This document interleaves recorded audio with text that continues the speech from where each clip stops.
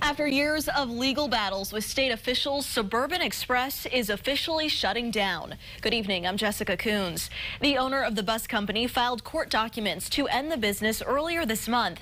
And today, Suburban Express, Allerton Charter Coach, and Illini Shuttle all stopped operating, and their websites have been taken down. We first told you about this as breaking news on our WCIA3 app. A lawsuit was filed against the company back in 2017.